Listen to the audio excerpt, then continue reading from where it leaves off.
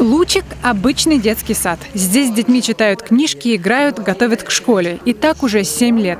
Только воспитанников здесь меньше. Именно это помогает легче разобраться со всеми их капризами. Мышка, цыпленок. Это кто? Муравей. На развивающие занятия в Лучик ходит около 30 человек, еще 20 в группу дневного пребывания. Возраст детей от 2 до 5 лет. Мы ведем, а, проводим утренники новогодние для детей самого раннего возраста, то есть практически с годика до а, трех лет. Это вот прям наша аудитория.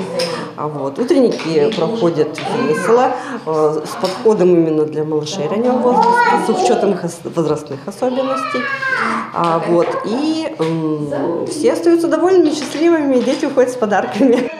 Прийти на празднование этого Нового года может кто угодно. Двери детского сада «Лучик» открыты для всех малышей. Утренники пройдут 28 и 29 декабря, в субботу и воскресенье. Сейчас для гостей готовят танцы и песни, придумывают интересные конкурсы. Над потолком уже висят шары, а на окнах – снежинки. Осталось только дождаться Деда Мороза и Снегурочку и поставить елку. Oh!